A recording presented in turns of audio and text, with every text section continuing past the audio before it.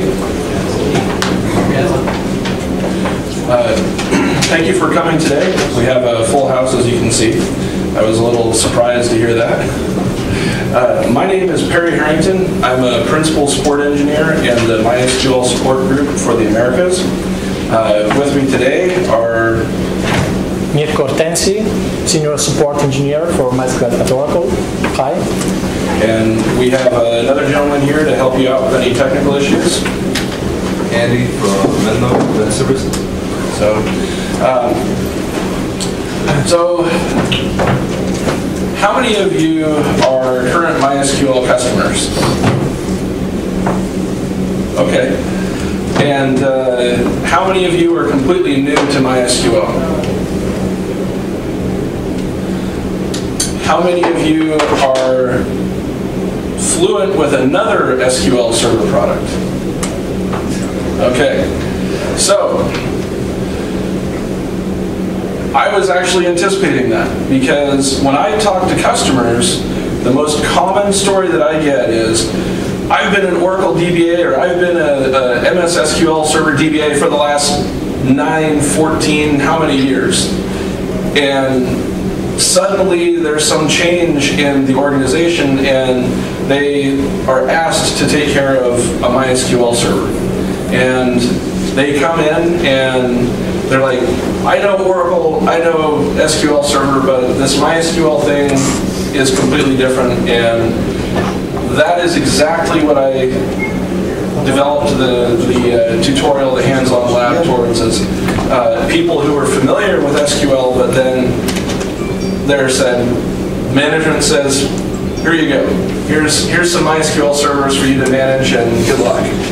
So uh, what we're going to talk about today, the presentation is actually divided into two parts. We only have about an hour, so uh, my plan is, the first part is I'm just going to do a little bit of talking uh, about MySQL and some of the sort of more important things that you're going to run into if you're either completely new or you are you know, transitioning from another product. Uh, some of the people that are current MySQL customers may find this information useful. Uh, the second half of the presentation is uh, I have a, a, set of 10 exercises. We may not get through all of them, but uh, it's, a, it's a good uh, primer to what you're going to expect if you're coming to MySQL uh, or you know, you're dealing with a cloud product or, or whatnot. So uh, the first step I realize is that we need to get everybody running the virtual machine that I prepared. So, what all of you should see on your desktop right now is this. Now you'll have a, a variety of other virtual machines listed, but uh, what I would like you to do is to click on the HOL 7298 virtual machine, and then click Start.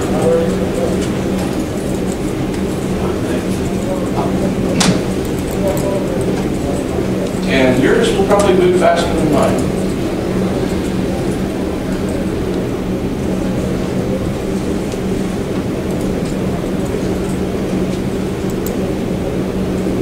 And there's these little advisory things that they will pop up. You can just dismiss those.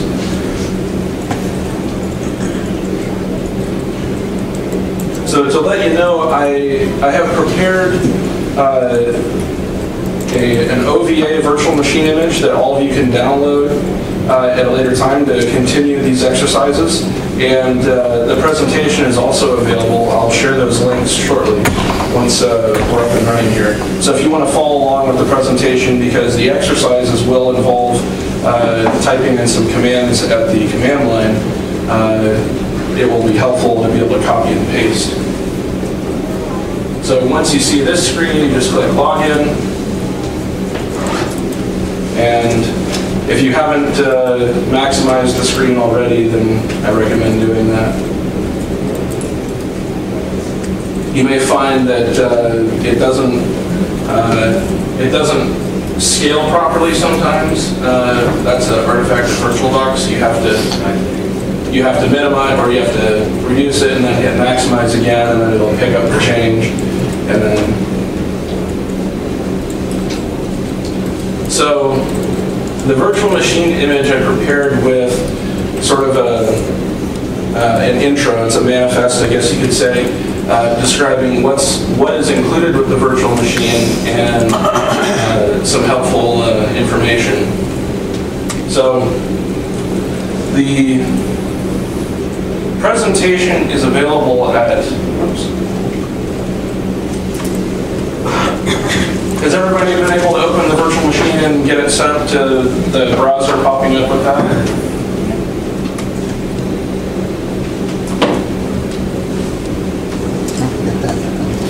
And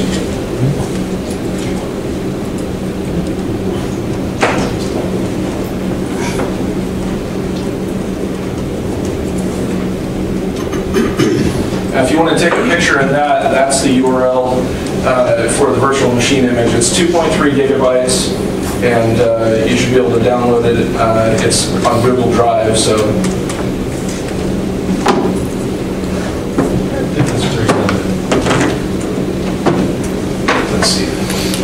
Who said that? Ah.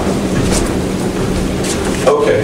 Uh, Yeah, so unmaximize the window and then maximize it again. Yeah, there.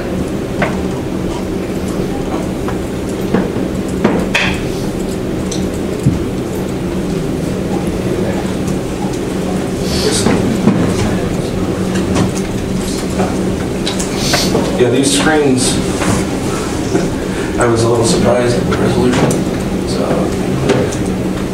that. There we go. And,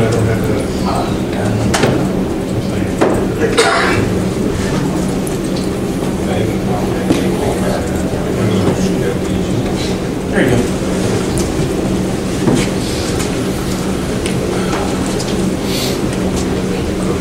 So if you want to follow along uh, with the presentation, you can type in the top URL in the web browser in your virtual machine, and it will bring up the PDF uh, in a preview mode. So it'll look like,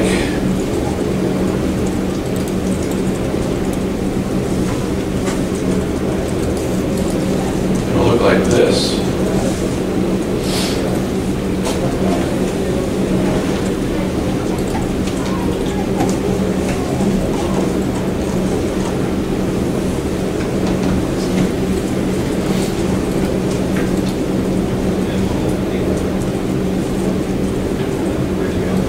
Can you go back to the URL? Yes. Sorry about that.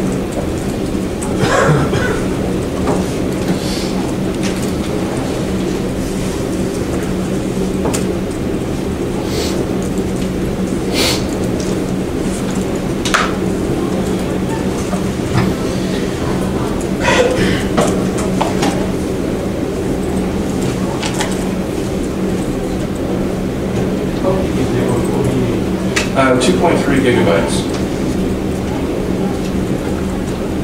It's on Mac. Uh, You can run it on any platform that supports VirtualBox or uh, another virtualization product, because OVA is a standard interchange format.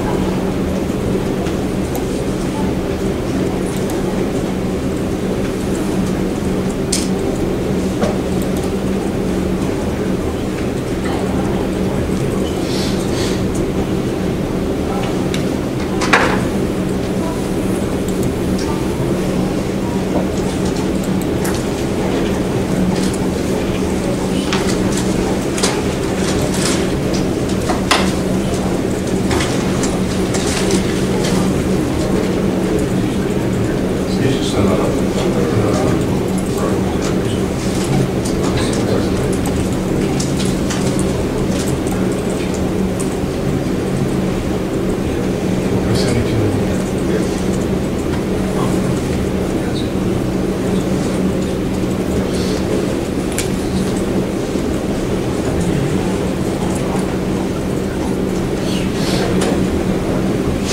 Does anybody still need help with uh, loading up the PDF or the web browser? You didn't, raise your hand, and we have two gentlemen in the back that can help you.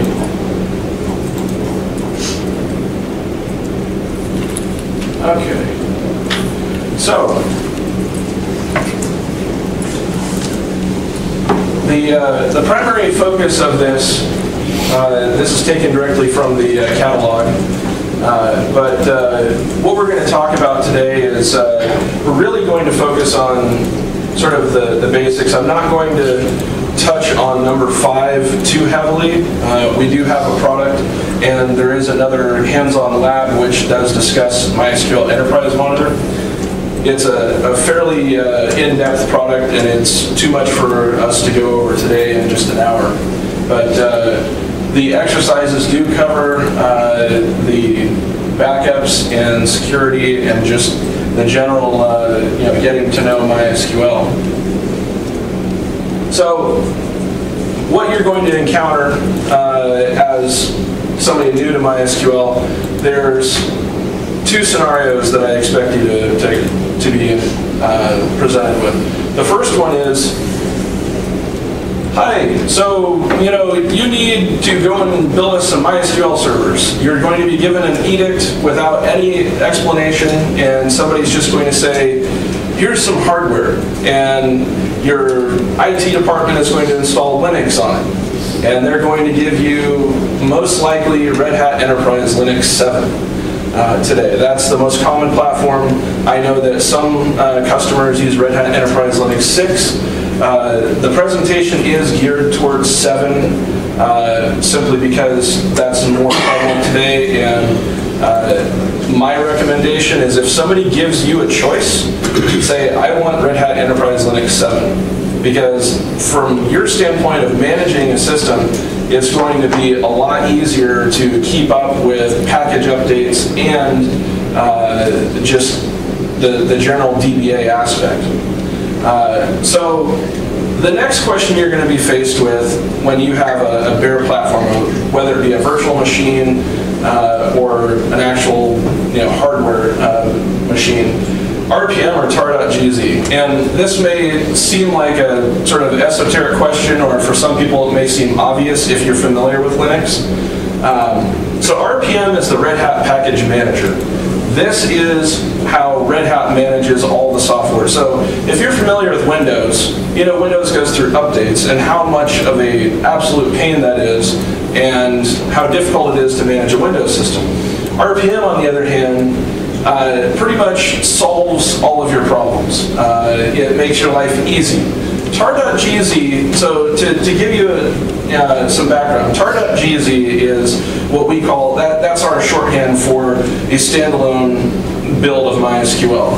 It's an actual tar.gz file that you download and you can just unpack into a directory there are times where that is valuable if you, you know, if you have uh, some sort of, you know, internal version control uh, that policy prevents you from updating system packages, you can download a tar.gz into a non-privileged directory and you can simply unpack that and it's ready to go. You just start MySQL, point it to a configuration file, and it's ready to run.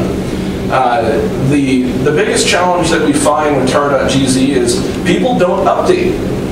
Now, you would not, you know, I think you might be surprised, but, you know, some customers, or you know, companies, I should say, it's not uncommon for, uh, for a product to be, you know, and, and when I say if you are familiar with another product and suddenly you are now a MySQL DBA, what will happen is somebody will give you a server that's already been built, and you'll be asked to take you know, control of that, of a legacy product. And I would say that 50% of the legacy products that we encounter are using tar.gz. And the problem with that is, is that how do you know where it's installed? You know, what, what has been updated? You know, it, it's really hard to control. There is no real control over tar.gz from, you know, the standpoint of, you know, uh, deployment. It, it can be done right, but it is more difficult than simply using RPM packages if you have, you know, Red Hat Linux. So the next thing, and I'm kind of belaboring some of these points, but they're important to make your life easy. If you're going to be a MySQL DBA, you want to actually, you want to spend your time solving the hard, the hard problems, not solving the easy problems. And so, uh, yum or not too young. And the, the real question or simple, you know, short one of that is, if you're using uh, the community packages, which if you're an Oracle customer and you have a MySQL support uh, entitlement, you can use community packages if you don't need the enterprise features. So if you want to use our community Yum repo and deploy, you know, 100,000 servers and just have them update from the public Yum repo, then you know you can do that. If you don't want the enterprise features, if you do want the enterprise features, it makes things a little more challenging. There's two routes to go with that. We offer a package where for companies internally, they can set up their own internal Yum repo and with our package and keep it up to date and then set up all their servers to point to that. There's a little more complexity to that and that is why I have put a link here. If you're an Oracle customer, we have a knowledge document on how to set that up. Uh, this is, you know, it's in the uh, presentation, so if you remember that URL, you'll have that. Um, suffice it to say, uh, the enterprise packages, they just come as RPMs. And we do have instructions online where, you know, there's an actual command you can copy and paste to install those. Um, I'm going to go a little bit faster on these. So cloud instance or clone VM. Uh, so it's very common with enterprises to use virtual machines like with VMware, for instance. It's also another common practice to build a master image of a virtual machine and then deploy multiple cloned copies of that master image. From one person's perspective, that's great, it's a panacea. But if you don't do it right, you're going to run into some big problems. And the one problem that we run into, and this manifests in number five, monitoring, is that when you clone a VM, if you don't have a script that goes in and sets up to make sure that VM is unique, which specifically SSH private keys. So each server, uh, when you create a server, you install Linux and you install the SSH package, which, uh, how many of you are not familiar with SSH? Okay, so when you install SSH, there's a set of unique server private keys that are generated, and if you clone the VM, those private keys are identical among all of the clones. MySQL Enterprise Monitor uses the SSH key as a unique identifier when reporting back to the uh, monitoring server, the service manager. So if all your virtual machines look the same, you know, the whole world becomes upside down as far as MySQL Enterprise Monitor is confirmed. So you have to make sure that that's a, you know, that's something important when working with your IT groups for deploying virtual machine images. So the next thing is, this really comes down to Red Hat Enterprise Linux 6 or Red Hat Enterprise Linux 7. Uh, Red Hat Enterprise Linux 7 uses systemd instead of Upstart for managing all of the system startup scripts. It changes some of the syntax a little bit, if you're not familiar with systemd, I recommend that you do a little bit of research, play around with this VM because the VM, uh, while it's based on Fedora 26, it's very user-friendly and it gives you a safe place you know, to play with uh, systemd for start, stop, etc. Uh, Red Hat Enterprise Linux 7 uses systemd and uh, it, it's enough different than the usual that it's worth mentioning. Um, so MySQL uh, uses a configuration file just like every other you know, product out there. The my.cnf, which is included, it's this is sort of the you know the basic. It's included in the slash etc directory on a Unix system. Uh, there is a challenge in that on some systems you may have uh, a my.cnf file in another directory, and MySQL does check multiple directories, and it overlays settings from multiple directories. So it may seem a little unintuitive, uh, but the, the slash USR directory is actually another common place that we use to ship the my.cnf file. I don't know why. Everybody uh, scratches their question, you know, scratches their head and says why. Um, but uh, now, you can also have your own MySQL configuration file. Why that would be important is that you can set up a password and a login in your personal my.cnf file. So uh, there's instructions about that online, but suffice it to say that that is possible, and there's a um, there's a utility for uh, you know, obfuscating a password and, and saving it uh, in for your system login. Uh, for automation, it's commonly used. So if you have a .my.cnf for the MySQL user, and then you have a number of automation scripts that you run periodically, then using the MySQL users .my.cnf in the home directory is uh, is very you know useful for that. Um, security if you follow the security releases, uh, you know, for products, you might have noted one, you know, better part of a year ago for MySQL. The my.cnf file, it can be readable by everybody, and it is, but it can only be owned by root. If you don't maintain root ownership of that file, of the, the main MySQL file, you can open yourself to a variety of attacks, and there was a bug that was exploited you know, I can't remember.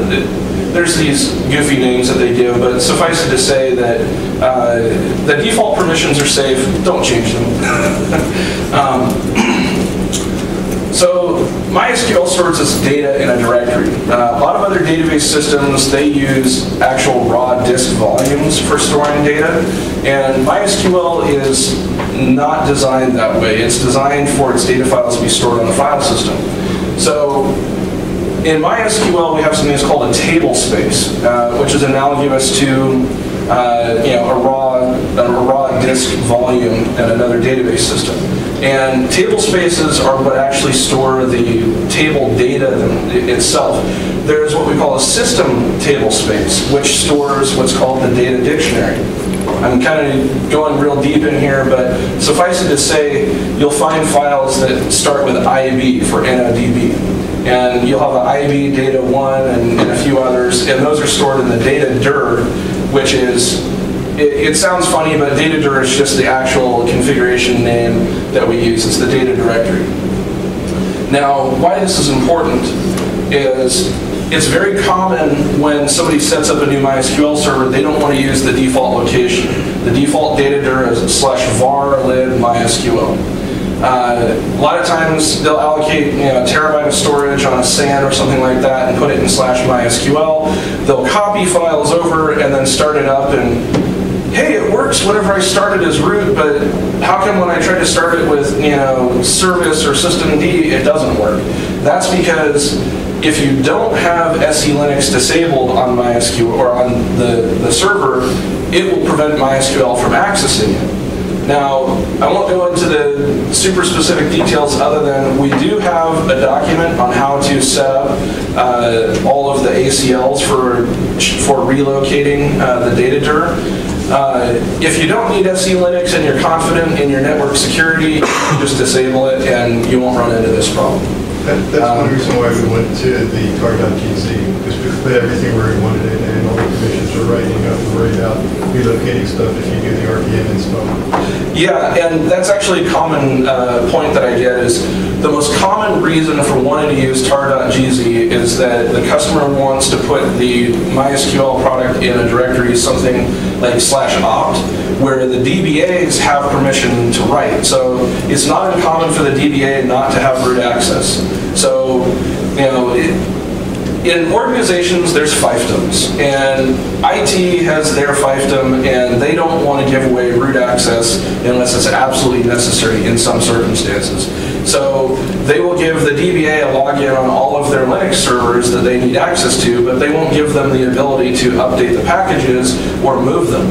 So what's very common is they'll create a directory slash opt that the DBA has write access to, and the DBA will install MySQL in that directory and all the data files in that directory as well.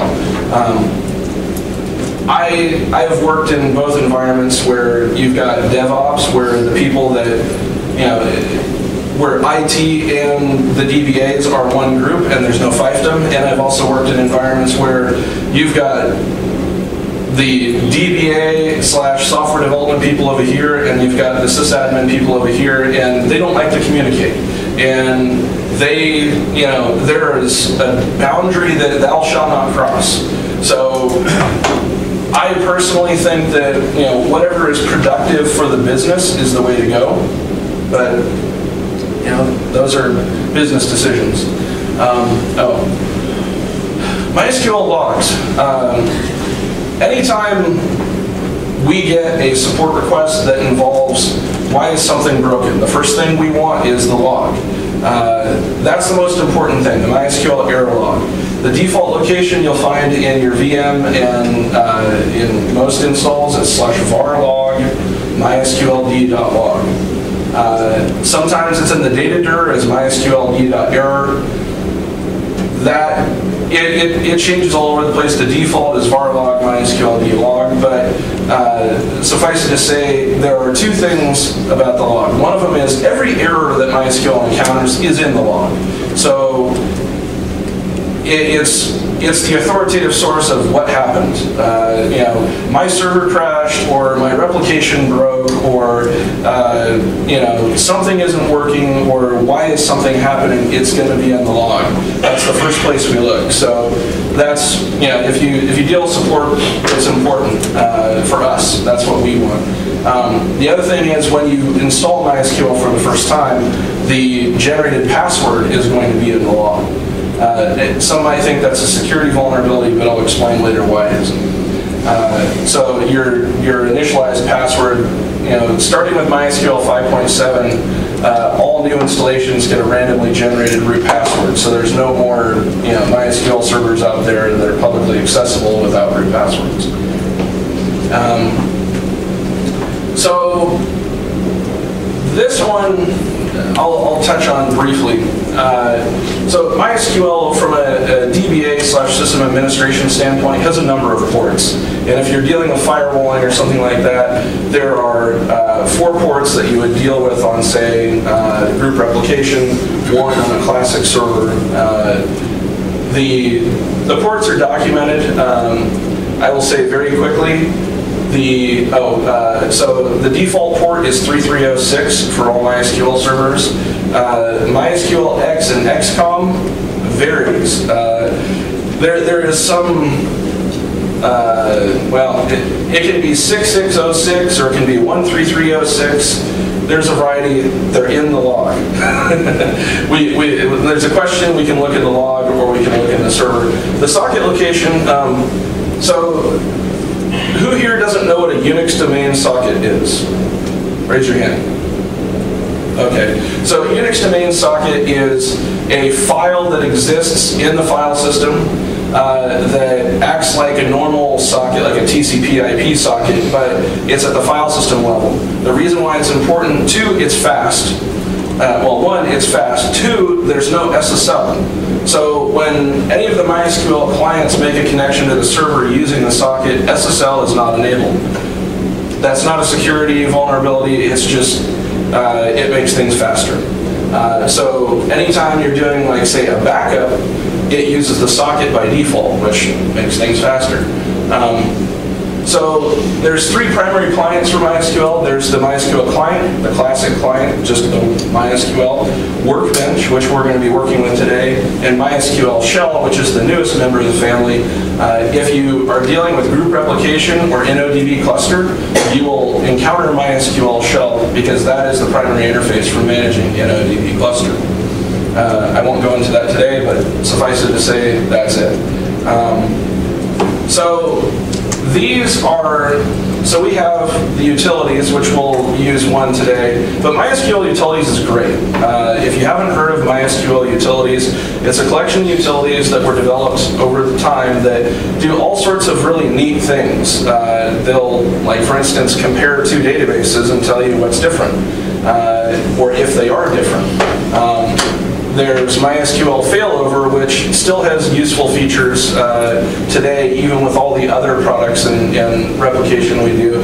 People are still using MySQL failover because it allows you to manage an asynchronous replication topology uh, very simply. And it has hooks that allow you to launch scripts whenever an event happens. So if your primary server dies, and you have a failover, then you can launch a script to say notify or change an application uh, configuration so that the application knows what the new master is.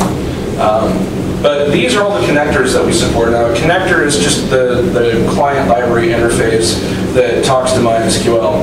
Uh, We pretty much have everything covered some of them are a little more clunky than others, but uh, they all work, you know, well. Uh, libmysqlclient is the oldest one. That's what, you know, if you've ever used MySQL at the programming level, that's the old API that uh, most people are familiar with. Uh, so high availability. I, I'm sure that uh, a lot of people in here, that word is thrown at them, or if you're here, there's going to be some sort of context. How do I achieve MySQL high availability?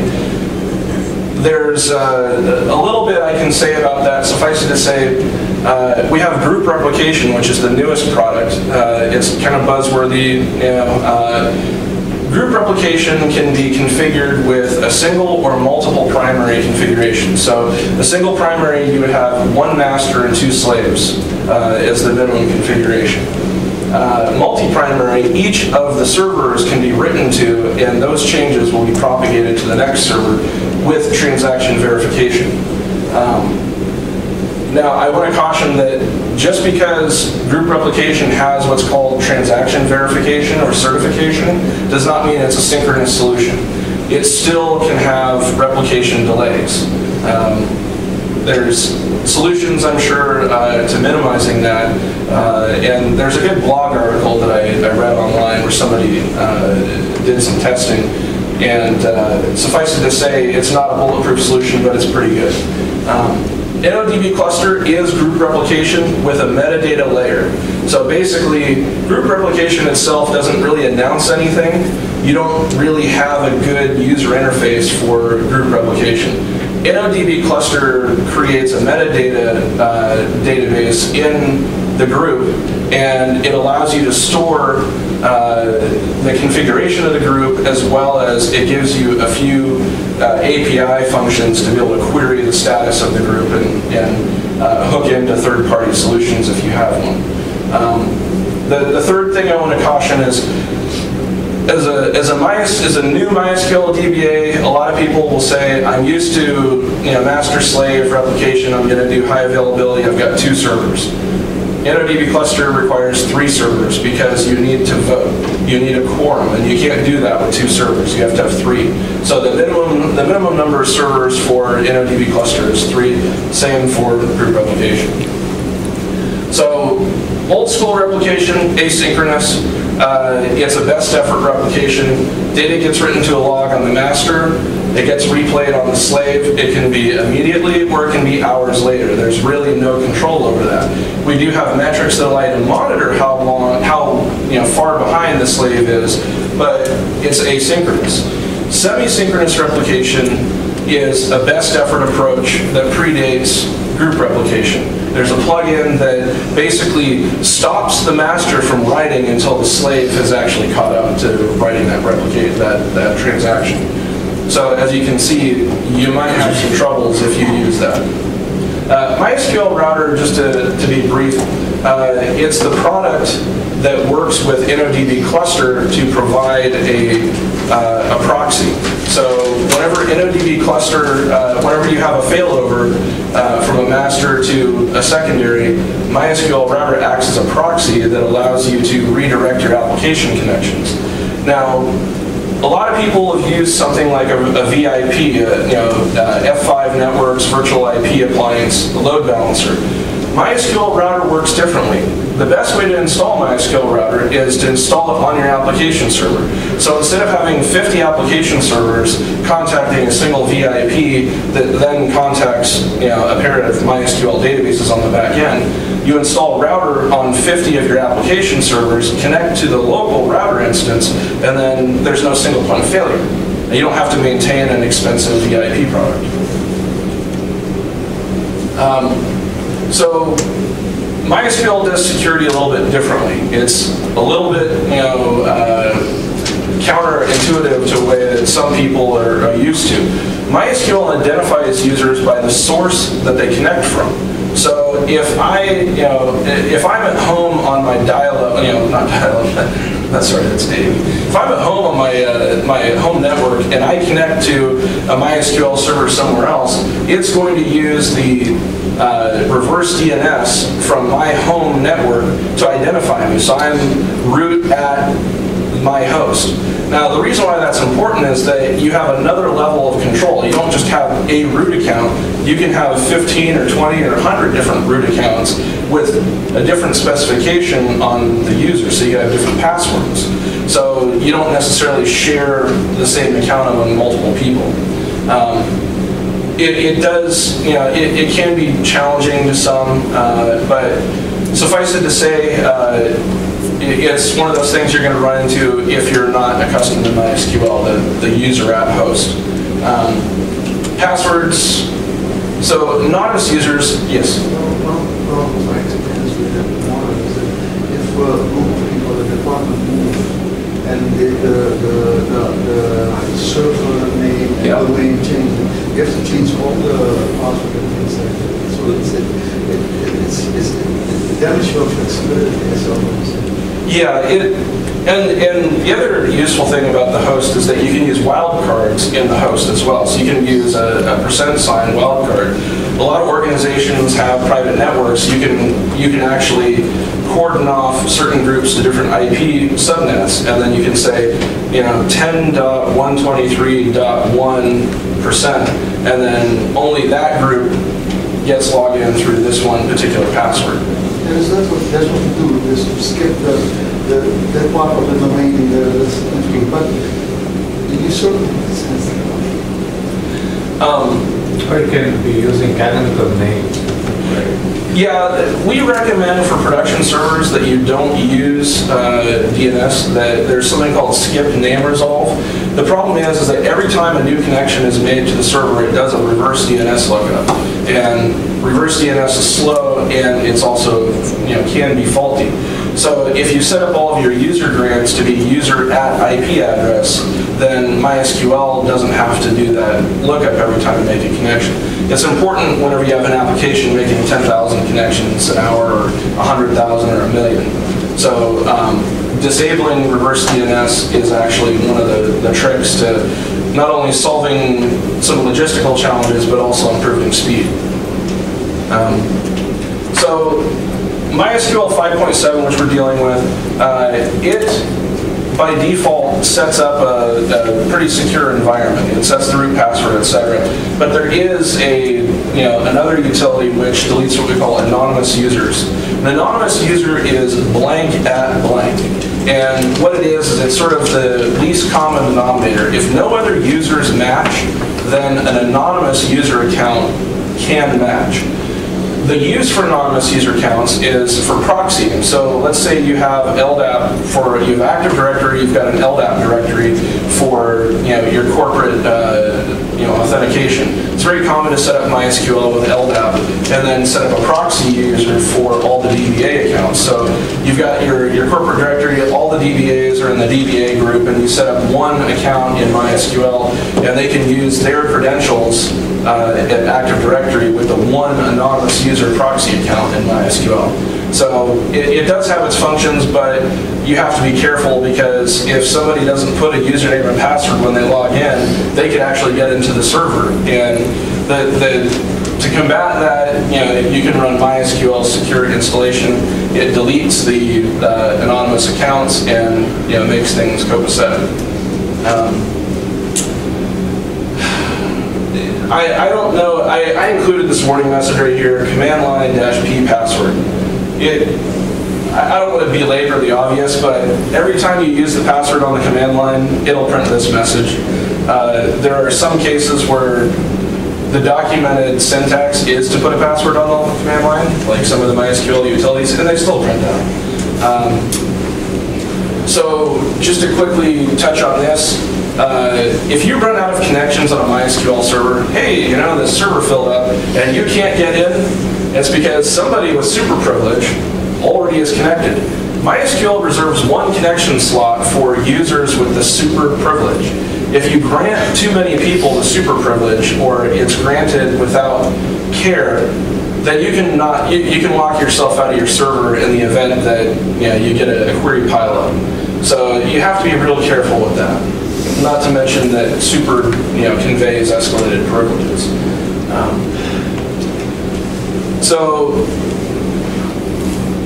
I'm gonna, let's see. Yeah, we're, uh, we're, I'm talking too much. Uh, we, there's really three solutions for backup with MySQL. Uh, we've got MySQL dump, old school, it's still useful. Um, lots of positives, there's some negatives. Uh, MySQL Enterprise Backup is the you know solution that we prefer today. The the main thing is is MySQL Enterprise Backup is a some people uh, criticize me. It, it's an online backup tool. So it allows you to back up the server while it's hot. It doesn't stop the server. It doesn't create a long running transaction. The only exception to that is if you're using MyISAM tables. A lot of people inherit legacy systems and they've got old databases with MyISAM tables. My ICM is non-transactional and in order to back it up, you have to, you know, you have to put a, a uh, you know, wait on the server and say, I want all, I want exclusive access to be able to, you know, get access to that data. So, you know, there, there are exceptions and there's no workaround for that really.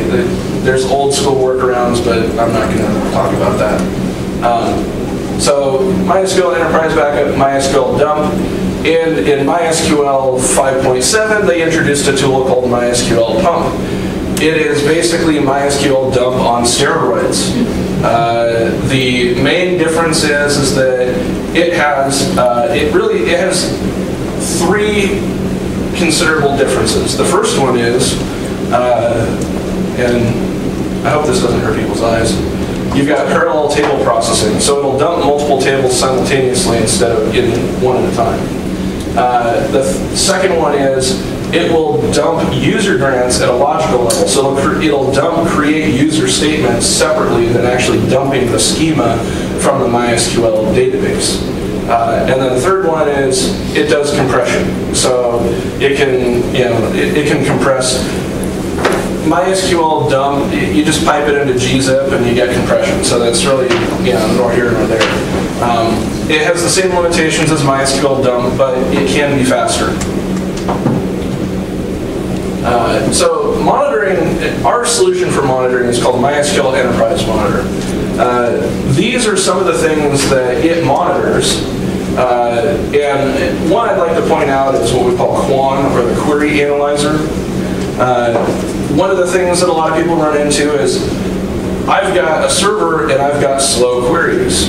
Well, the Query Analyzer is a very handy tool that allows you to visualize and do an explain on queries. MySQL Enterprise Monitor will track uh, queries that are executed, and it will keep a it'll keep a tab of all the queries, and it'll order all those queries by the slowest query first. So it does some really neat stuff, and I've got some screenshots here for you. So this right here is uh, your main dashboard, and it, it's your overview of you know your MySQL groups, etc.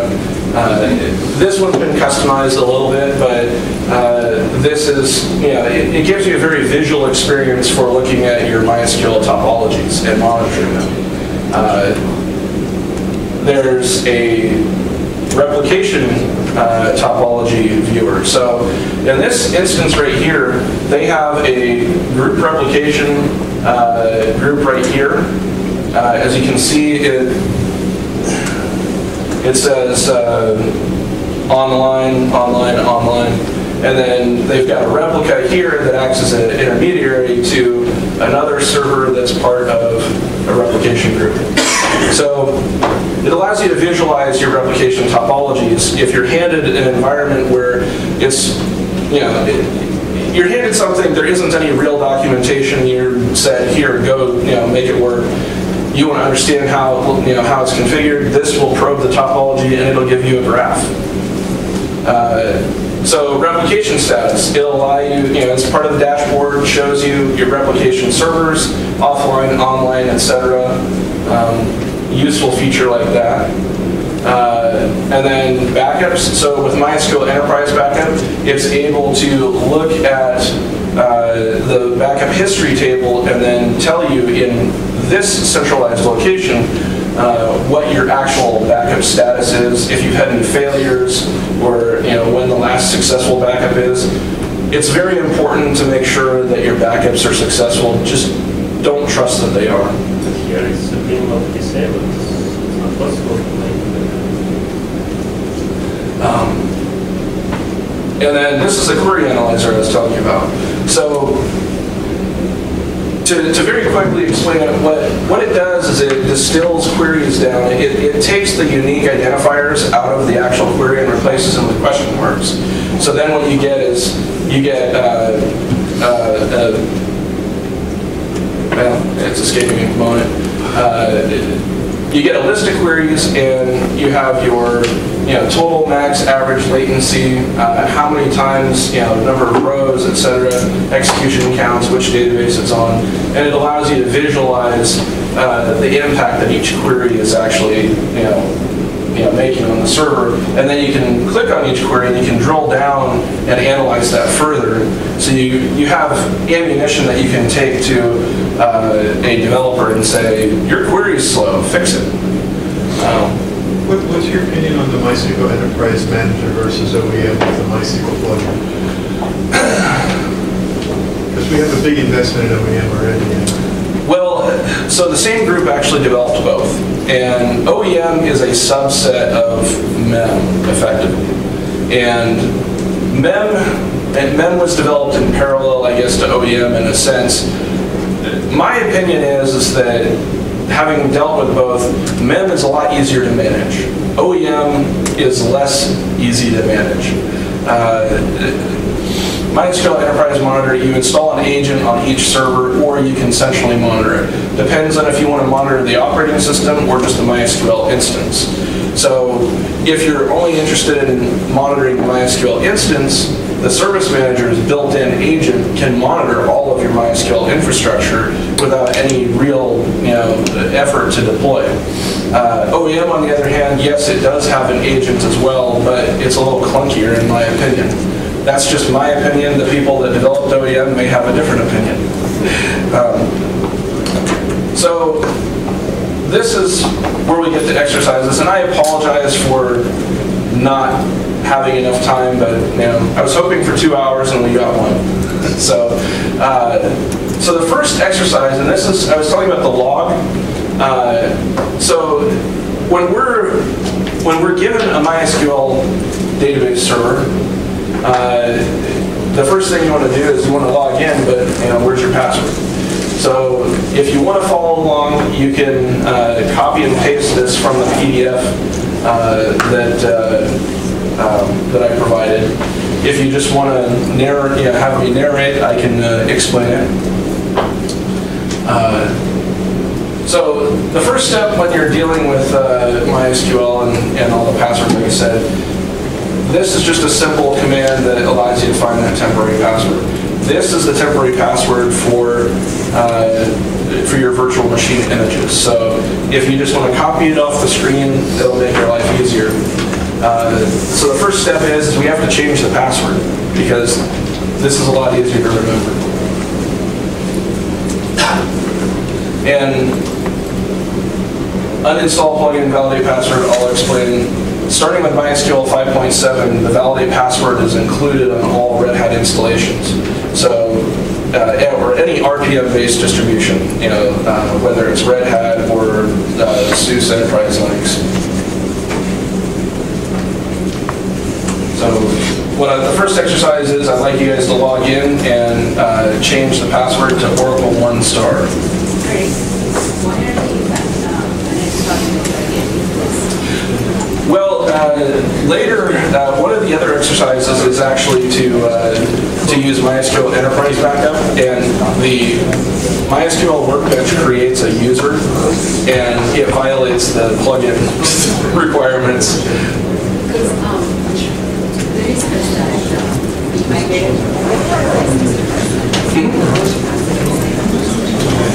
Yes. Yeah, it's. I, I understand why they why validate password is installed by default, but at the same time, uh, a lot of people will run into that same problem. Oh yeah.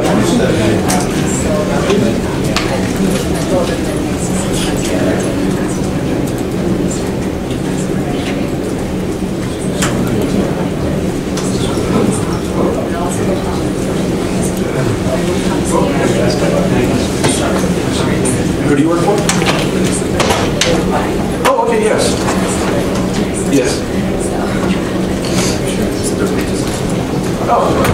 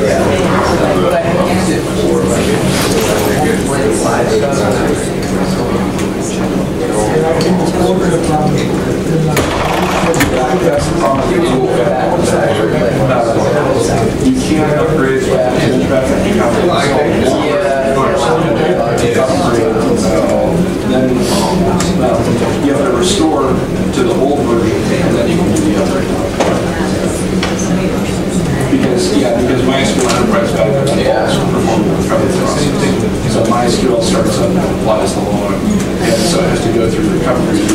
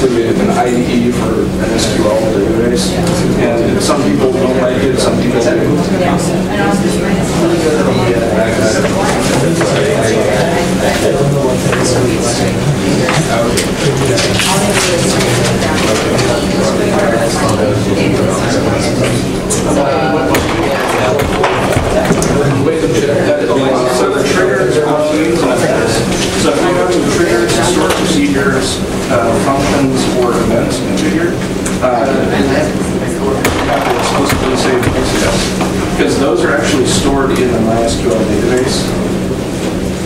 So, yeah, and if you do an all database backup, copy is the MySQL database. Um, sorry, say Yeah, if you're going database by database, you may, you're missing that metadata. So.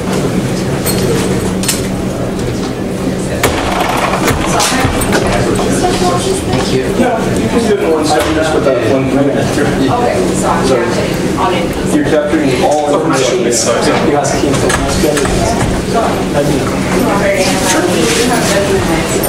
Yes. Uh, the actual PDF. Oh, yeah. So, I don't have one unfortunately. Uh, yes. Sure. Uh, put a, uh, I right there. Everyone, you can download it. And you will receive a copy of this machine with the nice graph and the whole finish and claim the price.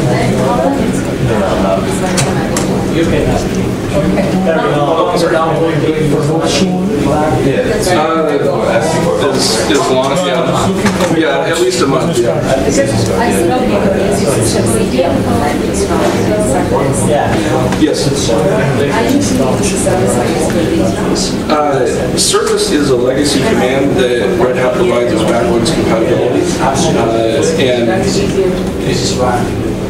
systemctl is, well, they provide uh, backwards compatibility commands for people that are familiar with the older uh, functions, but from going forward, it's a good idea to learn systems, you know, systemd commands directly. There are methods that you were saying, but I that's, that's the one, that is. So I just like follow this, so I want to even download the system. Yeah. Right, it's a service. We discussed it this morning. Okay. Access the server and get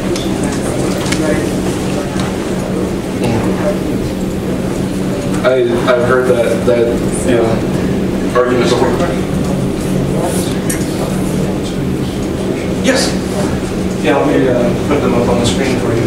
Are they valid for certain period of time? Uh, they're on my Google Drive, so I've got control over them, and I'll just leave them up, you know, in perpetuity. Okay, great.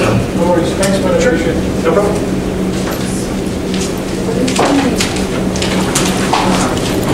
Goodbye. Guys have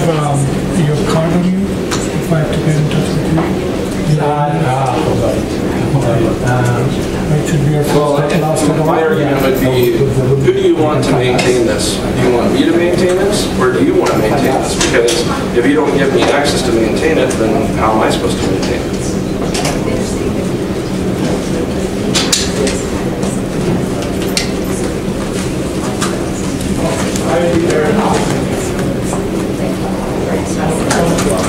Thank you, I appreciate it.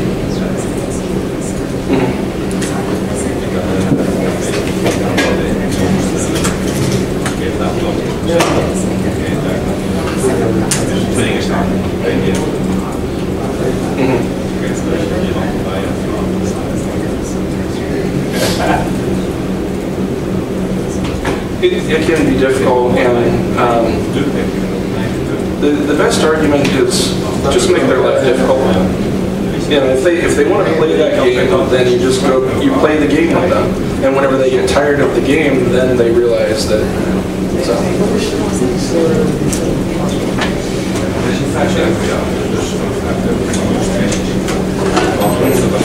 Well, I think that's really your, uh, your argument, is that you take it above their head and say, you know, I've documented, you know, our, our service response times have declined because of this policy. I would like to change this policy. And that's really the best way to go.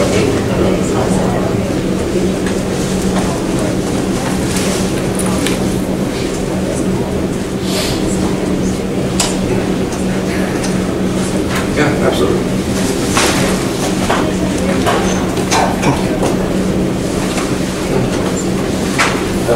I, I, I feel, I, I feel sorry for you. Sure.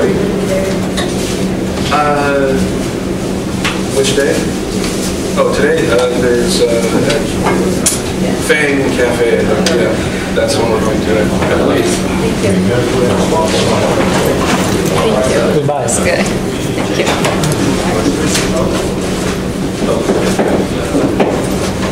Uh, master master, uh, the most common use for that has been with MySQL 5.5 uh, that I've seen, and uh, the there are certain well, certain good reasons to use that. Uh, it's good in the sense that if you have I really only think it's good for MySQL 5.6 and above if you have full transaction identifiers enabled GTIDs.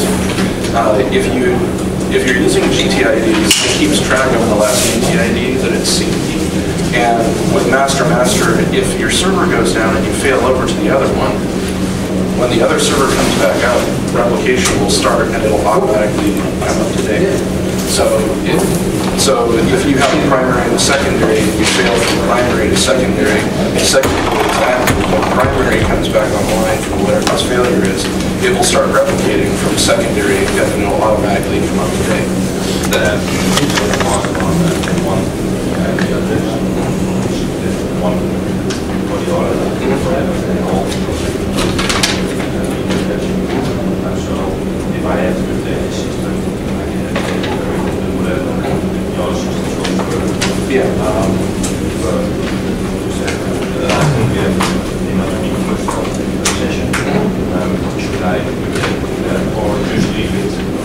master?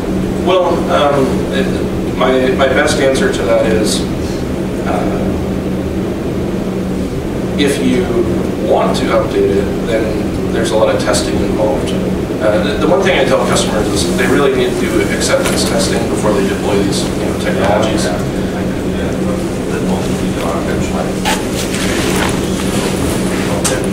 Yeah. The, the only challenge that we've been seeing recently is that um, Uh, Well, that, that's a, that's a good use. The, the main challenge that we've seen is that if customers have any sort of networking instability, nodes from the group, from the group will actually fall off and they don't reconnect automatically.